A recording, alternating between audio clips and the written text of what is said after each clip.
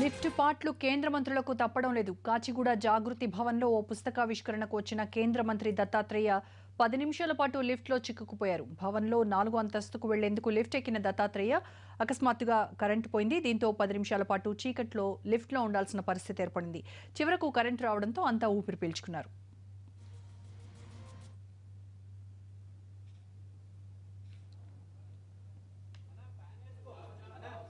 దీనికి సంబంధించి మరిన్ని వివరాలు మా ప్రతినిధి రాజు నుండి తెలుసుకుందాం. రాజు కేంద్ర మంత్రి దత్తాత్రేయ లిఫ్ట్లో ఇరుక్కున్న సంబంధించి పూర్తి డీటెయిల్స్ ఏంటి?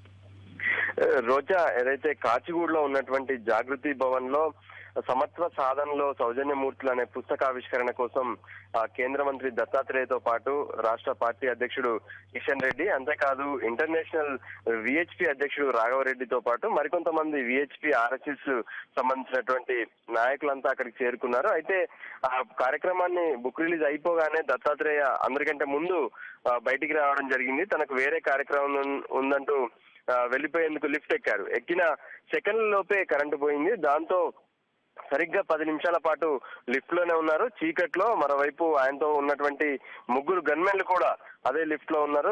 చాలాసేపు ఇబ్బంది పడ్డారు. కొన్ని డోర్లు ఓపెన్ చేసే ప్రయత్నం చేశారు కానీ ఆయన్ని బయటకు తీయలేకపోయారు. చివరికి పది నిమిషాల తర్వాత కరెంట్ వచ్చింది. అప్పుడు ఊపిరి పీల్చుకున్నారంతా. అక్కడ ఉన్నటువంటి కార్యకర్తలు వాళ్ళంతా కూడా ఆందోళన చెందారు. దత్తాత్రేయ కేంద్ర మంత్రి ఉన్నారు. ఆయన లిఫ్ట్లో ఇరుక్కోవడం ఏంటని కొంత ఆవేదన కూడా వ్యక్తం చేసినటువంటి పరిస్థితి. మిగతా నాయకులు మేము లిఫ్ట్ ఎక్కకపోవడం సరైంది అనుకుంటూ ఆ కిషన్ రెడ్డి అయితే నడుచుకుంటూ కిందికి వెళ్ళిపోయినటువంటి పరిస్థితి కనిపించింది.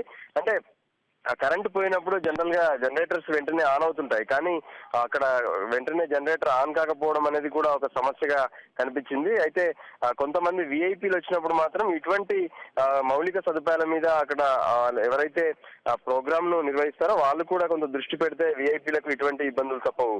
రోజా? రైట్ రాజు.